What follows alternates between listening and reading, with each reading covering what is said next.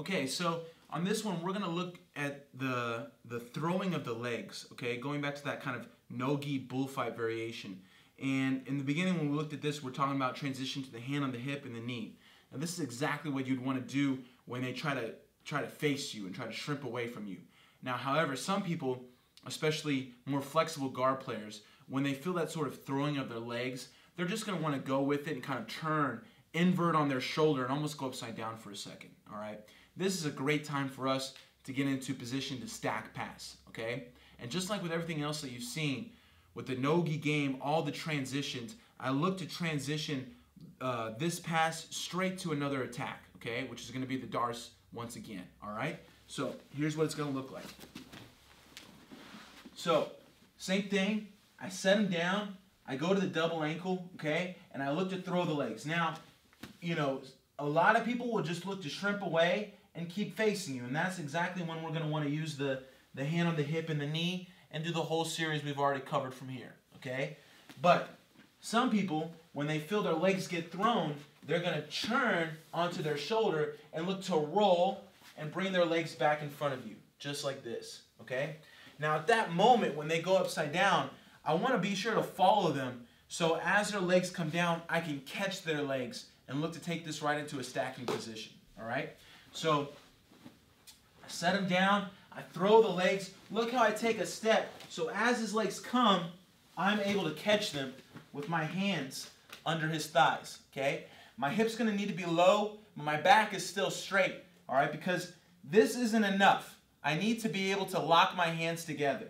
So once I catch his legs, I need to do one more little pull to bring him up, and I can drop down and lock my hands around his hip, just like this, okay? So let's turn. So I pull, I lock my hands, okay? Now I'm tied around his hip, all right? From here, I'm gonna start to sprawl back and use my hips, okay? At the same time, when I'm driving forward, I'm gonna start to slide my hand across to his far shoulder, okay? So I'm on my toes, look where my hand is, and I'm pushing him forward with my hip. Now I want him to feel this motion and roll all the way over. And as he does that, my arm is gonna continue to come around his neck, and I'm gonna fall to my side, okay? Let's turn this way. So my arm was already here. I just pushed him over, okay? And I'm just gonna uh, transition this right into the, the sit through D'Arce that you guys have already seen, where we sit with our leg down and throw our arm all the way through, immediately catching the D'Arce, walk, and then finish from here on the side. So we're bridging some moves together here, okay? We have the sit through D'Arce, combining with the stack pass, which combined with the bullfight pass, okay?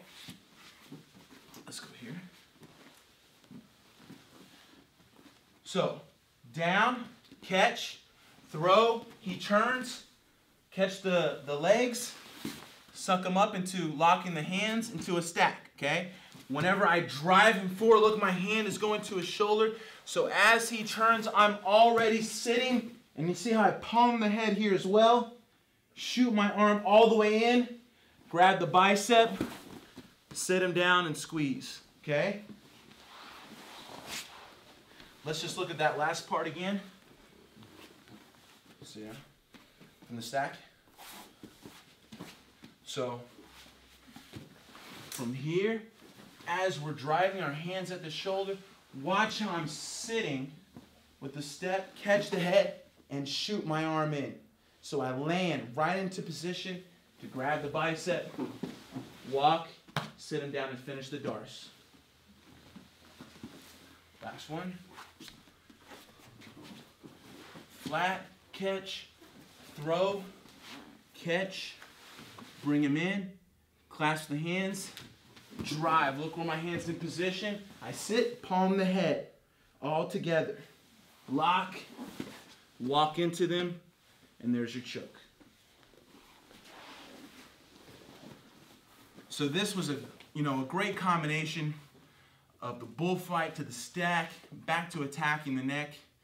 Uh, you know, always looking to understand the reaction and looking for our opportunities to take the submission, okay? And I love this transition of the stack to the D'Arce, sitting underneath, once again, looking to catch them by surprise and get the choke.